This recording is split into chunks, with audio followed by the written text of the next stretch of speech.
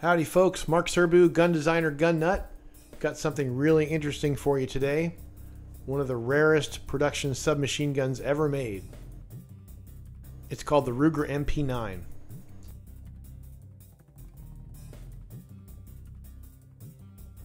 Now, how cool is this? Looks like the exact same manual you'd get with your 1022 or your 9mm Ruger pistol, but it says submachine gun on it. awesome.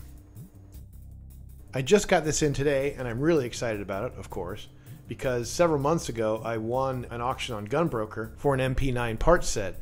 It had just about everything in the entire gun, except, of course, the lower receiver was all chopped to hell, and there was uh, there was pretty much nothing left of it. I think it had just one one little tiny piece. I'll I'll take a look at that later. In an upcoming video, I'll be doing a complete teardown, cleaning, reassembly, test firing, all that good stuff of this gun here, and then of course I'll be showing you how I figure out how to manufacture a new lower receiver for the parts set and show that thing being built. And who knows might even build it as a semi-auto. That'd be really exciting huh?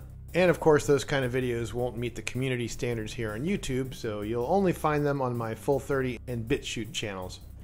In the meantime if you're a big Uzi fan like I am or you're just a gun fan in general and you don't have this book what the heck? You need to get it my buddy David Gaboury wrote this fantastic book on the Uzi submachine gun, but it's not just about the Uzi.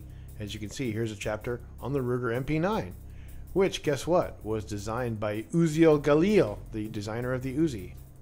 And you'll learn all kinds of cool stuff like that when you get this book. And while it does have a lot of great technical stuff and manufacturing details about the Uzi, and of course a little bit on the Ruger MP9 here, there's a lot of like inside baseball type stuff on the gun industry in general. A lot of really great stuff. It, it's just I'm amazed that it took me so long to discover this book. I've only had it for about six months. I actually have two copies, one at home and one at the shop. And of course, you can get your own copy autographed, and I recommend that. And I'm going to include a link on how to get a hold of David in the description here of the video.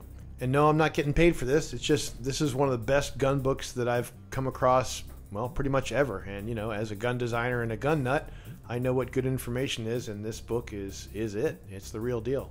Well, thank you for spending your time here checking out my video. Looking forward to making the full video on the other channels. It has all the firing and the disassembly and all that great stuff. That's going to be really awesome. This is a this is a really really neat gun to me. I've been psyched about this for a long time, and uh, hope you're going to be psyched about it too.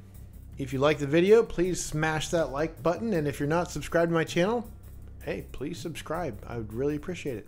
Thanks. Have a good one.